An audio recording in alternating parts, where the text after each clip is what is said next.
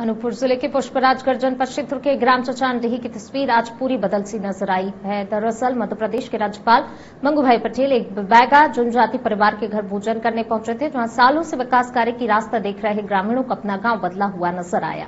आपको बता दें, सबनी बाई बैगा पति वनस्राम बैगा के यहाँ राज्यपाल भोजन करने पहुँचे और ग्राम चचानडीही स्थानीय नागरिकों के साथ चर्चा की। साथ ही लाभार्थियों को लाभ का वितरण कर स्थानीय विकास कार्यों का अवलोकन किया। वहीं सबनी बाई वैगा के घर दोपहर का भोजन किया, जिस तरह अनूपपुर ज़िले के पुष्पराजगढ़ के अंतर्गत आने वाले ग्राम चचांडी में राज्यपाल के आने से अचानक विकास कार्यों की बाढ़ लाती है, लेकिन ये विकास सिर्फ़ कुछ ही दूरी तक सीमित है। अब जिस भी गाँव में राज्यपाल का दौरा हुआ, उसके खुद की पंचायत अन्य ग्रामों में मूलभूत सुविधाओं का अभाव बना हुआ है। बहरहाल, देखने वाली बात होगी कि प्रशासन अब दिखावे की दुनिया से बाहर निकलकर विकास कार्यों की तरफ़ रुख करेगा या फिर से संरक्षित पैगा जनजाति परिवार विकास से कुछ दूर रह जाएँगे।